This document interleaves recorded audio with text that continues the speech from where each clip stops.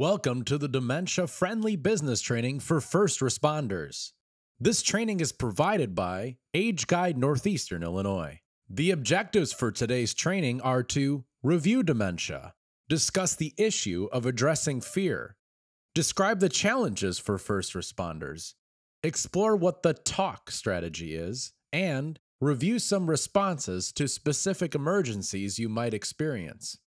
You should have already seen this in the training module for understanding the basics, so this will be a quick review.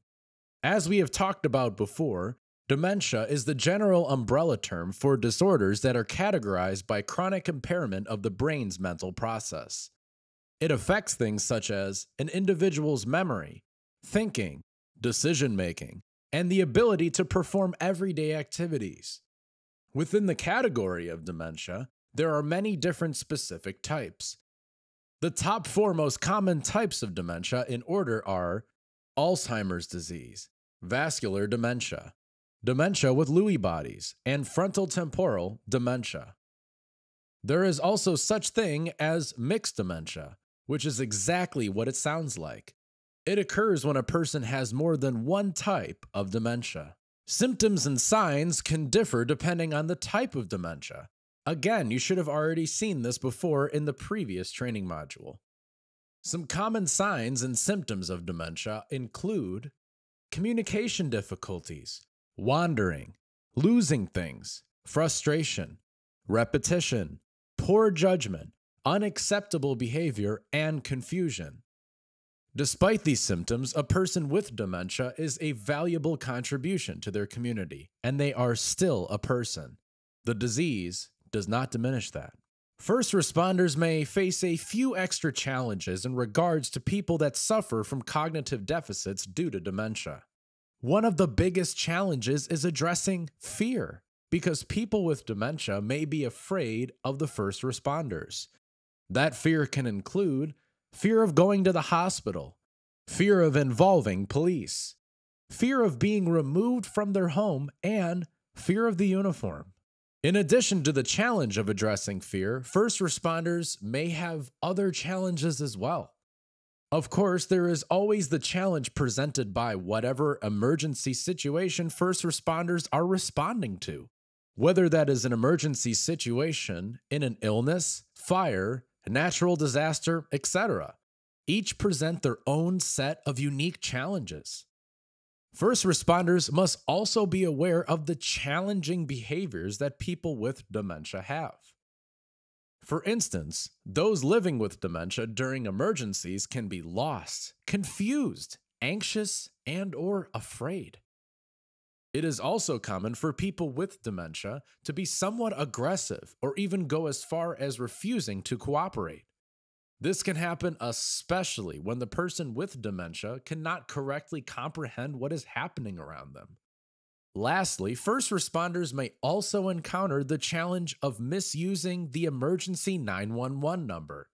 Essentially, this refers to when people with dementia use the 911 number too often for things that are not emergencies. For example, an older adult with dementia may call 911 when they need help going to the bathroom or walking up and down the stairs. However, we know that neither of those circumstances are really true emergencies. In order to address these challenges that we just discussed, first responders should use the TALK strategy, which is a tactic for interacting with people with dementia. T, take it slow. Allow people with dementia ample time to process. A. Ask simple questions. This will make it easier for the person with dementia to understand what is happening and respond. L. Limit reality checks. And K. Keep eye contact. Next, we are going to go through some specific emergency situations that may present some special concerns for first responders with all these situations, it's very, very important to always let the person with dementia know that you are there to help.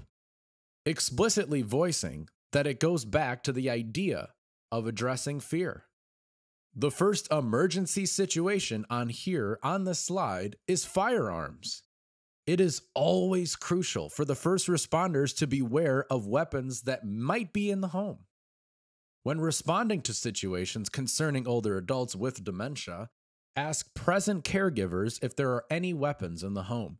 Similarly, ask caregivers if you can remove, unload, and safely store the weapon. Or you may want to even consider removing the weapon from the vicinity entirely. Next, we have wandering, which we have already touched on before as a symptom of dementia. However, we did not discuss the fact that it can be also considered an emergency situation. Wandering is essentially when a person with dementia becomes lost and confused about where they are. It can happen often because dementia causes people to lose their ability to recognize familiar places and surroundings. It is important for first responders to recognize clues that may indicate wandering, such as confusion, unsuitable attire, and awareness of surrounding danger. Then look for other parties that may have been with the person with dementia, such as a caregiver or a family member. As a first responder, what should you do if you ever pull a person over with dementia that is driving. First, issue them a justified citation in the form of a warning or a ticket, like you would do for anyone else. If you have a suspicion that this may be an older adult with dementia, prevent them from driving home. Offer to call someone that might pick them up or drive them home yourself. After the instance, file a DMV report using the driver's information.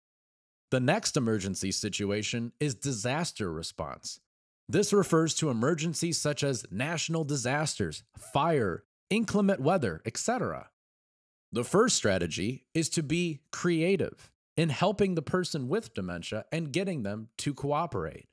Remove them from the danger as soon as possible and avoid using physical force. The next emergency situation is shoplifting, which can be a little tricky. It is critical to be aware of the person with dementia and their cognitive abilities. With that said, one of the first things to do is to evaluate the understanding of the situation. This will tell you whether or not the person with dementia had the intention of shoplifting. More often than not, the instance is unintentional because the older adult with dementia simply forgot to pay or check out. If that's the case, attempt to resolve the situation with the store manager. Then inform the caregiver or accompanying family member of the situation.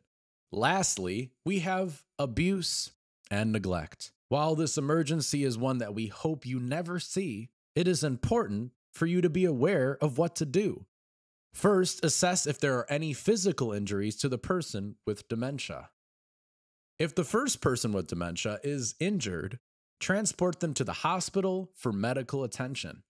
If they are not injured but are considered to be unsafe or in danger, transport them to a safe location.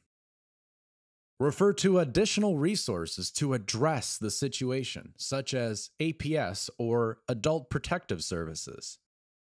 As you complete this training module, I encourage you all to view the additional resources in the PDF download on the Age Guide Learning Center or in the description below if you are watching on YouTube. These resources will aid you and your business in your efforts towards the dementia friendly initiative. Please feel free to download, print, keep, and share the handouts. Thank you for your commitment and conscious effort in caring for people living with dementia in the communities that you serve. Upon completion, a follow up letter, certificate, and dementia friendly window cling can be provided to your business. Please share this training far and wide to the other colleagues and other organizations in your network.